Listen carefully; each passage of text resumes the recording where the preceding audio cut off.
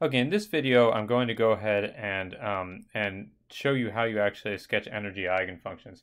The general idea is that if we're given some uh, potential energy, so let's say we have, this is just x, this is energy. If we're given some function,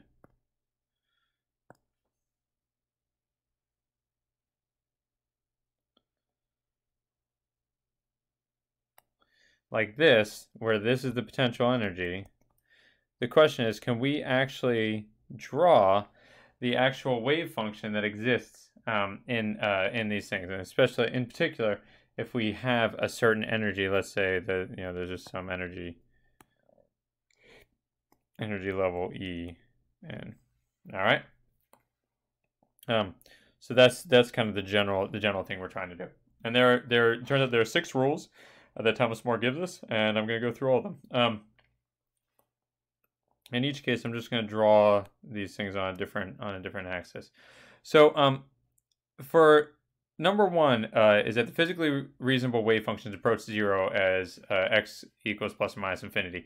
In other words, we're not allowed to have, so we always have to have wave functions that kind of go like this and eventually, eventually go down to zero. The reason for that is that we talked about this before, which is that um, we uh, we need functions to be normalizable. In other words, if we actually so wave functions, if you remember, uh, the wave function squared tells us uh, the probability of finding it someplace. Um, we need the probability of finding it anywhere to be 1, and the only way we can have these normalizable is if these go to um, 0 at infinity. Because if they continue to grow or they get the same size at infinity, uh, then you're going to have an infinite chance of finding them in different places. So that's why you always have to have them going that. So you'll never see wave functions that look like this um, and go you know go off into the distance that's not a that's not an actual okay wave function so that's number one that's rule number one all right um, so rule number two is that energy eigenfunctions curve toward the horizontal axis or our wavelength when E is greater than V of x. Let's just start with that first half of it. So, so let's just start with 2a. Um, uh, so all I want you to do is I want you to look at uh, this equation here, the actual Schrodinger equation, uh, which says that the second derivative of psi with respect to x is equal to minus some stuff. I'm just going to call it some constants. Um, e minus v of x times psi. Okay, so let's just look. Um, let's just look at some point here, and let's say we just want to draw what the wave function looks like at that point. Well, at that point, um, first of all, I want to point out that psi is positive. All right, because it's above the uh, the x-axis. All right, so this is this is just psi um, or this is this is uh, doesn't doesn't actually have a, a um, an axis. So psi is positive. All right. Um, I also want to point out that uh, between here and here, you notice that E is bigger than V, and so E minus V. So E minus V. This is this is E minus V. All right. Um, that's just the difference between it. So this is also E minus V at this point. All right. Um, uh, E minus V is positive uh, for um, all the points in between these two, those, those two kind of squiggly dotted lines. All right. So this is positive. Oh, sorry. Um, so E E minus V is positive.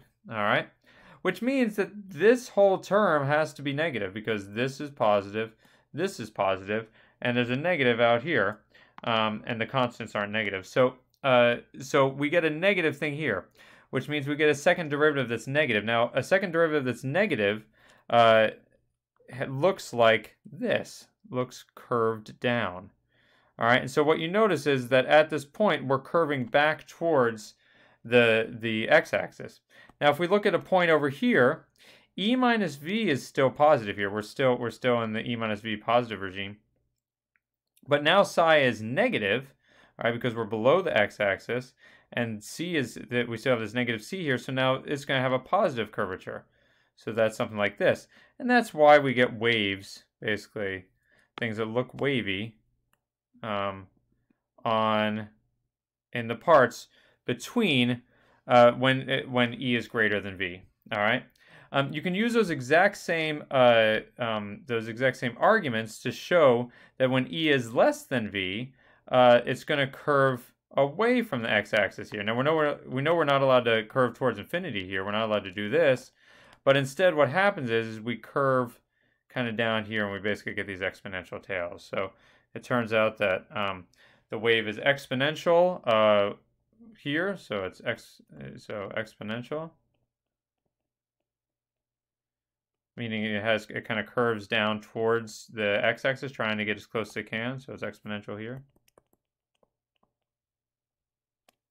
And it's wavy here. Um, wavy basically any place between these two lines where e is greater than v. Okay? So that's number two. Um, the second thing we're going to notice is that uh, the the how curvy things are scales as e and uh, e gets bigger than v. All right, so um, so that's kind of the uh, the the next step. Um, well, let's look at that. Let's look at that roll. And I'm sorry to keep erasing this stuff. I just feel like it's easier if we just keep kind of working on the same thing. And I'll show you the completed thing at the end. Um, so the idea behind that is this. Um, uh, the, the curvature, all right, again, we have d squared. This is 3 um, we have d squared psi dx squared is equal to minus some constant uh, e minus v times psi. Okay. Um, when e minus v is bigger, all right, so this is where e minus v is bigger, this gives us a big number. Okay, so if we get a big number here, basically that means the second derivative is very big. Second derivative is big means that it's curvier. Okay, and so what we're going to find is that in these regions where the curvy, where it's really big, we're going to get we're going to get things that are really curvy. All right, uh, which would be great if I could actually draw sine waves going in that direction. There we go. All right, in this region where it starts to get where e minus v starts to get smaller, we're going to start getting more things that are basically more spaced out. Okay, we're going to get larger wavelengths. Okay, so larger wavelengths when E minus V uh, is, is smaller. Okay. We're also going to find that, um, so, so that's kind of the curvature rule. All right. The next thing we're going to figure out is the amplitude. So the amplitude, it turns out, this is kind of a funny, uh, a funny kind of argument, and unfortunately you guys don't get to see me in class. I normally do this by walking back and forth really fast, but the point is that E minus V here is just the kinetic energy. Um, if you have a region here where we have more kinetic energy, that basically means we're moving faster. The region over here has less kinetic energy, which means we're moving slower. Um, it's just a fact that you're more likely to be found in a place that you're moving slower than a place when you're moving faster, just because you spend less time in the place where you're moving faster. And so it turns out this these regions have higher amplitude because we're more likely to find them there. Okay. Um, uh, and so we're going to find that we have higher amplitudes where E minus V gets really close together. Um, the number five is just a straightforward thing, which just says that um, we're not allowed to have any. Um, the the things always have to look smooth, and the wave function always has to connect to itself. So we're never allowed to have things that look like jagged things. Um, we're never allowed to have things that are disconnected from each other. Um, and finally, number six is that and, and, there's there's no there's no way to argue for this. It's just something you have to remember is the number of bumps corresponds to the number of energies.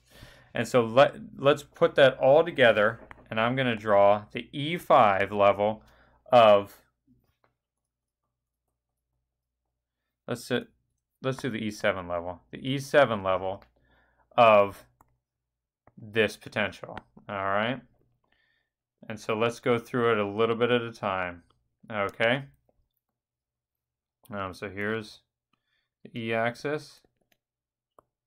Or sorry, here's here's I'm just doing the wave function here. All right, and this is x. Okay, so here's what we're gonna do. Let's do a fun color. I'm gonna do it in uh, purple. Great.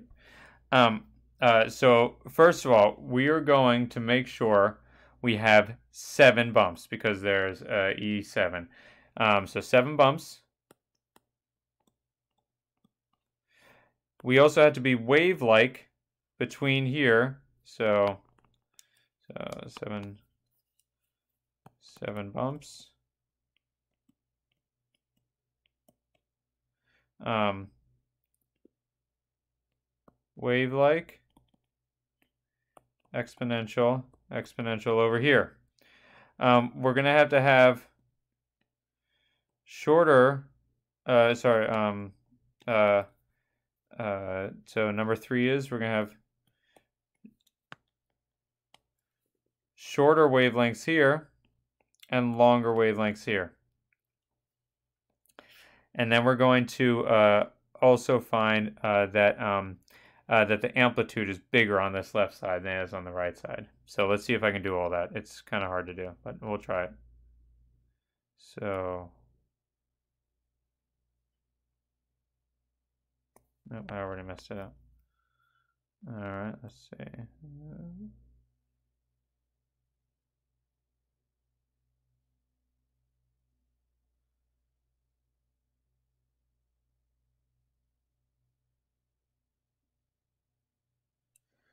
Let's see if I did that right. And this this should go down to zero. Okay.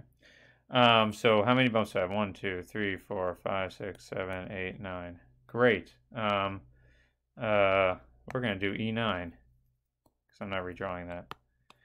Um, great. Um, one, two, three, four, five, six, seven, eight, nine, just like I wanted to. Um, nine bumps. Uh, shorter wavelength whenever the E minus V is larger. Longer wavelength over here. Um, larger amplitude. The places where E minus V is smaller. Smaller amplitude over here. All right, got all that. Uh, the right number of bumps now that I can count. Um, uh, let's see, did we get all the rest of them? Exponential on the left side exponential on the right side, wave-like in between the two turning, the two classical turning points. All right, that all looks good. That's how you draw a wave function. Um, and we will do one more example uh, in the next video.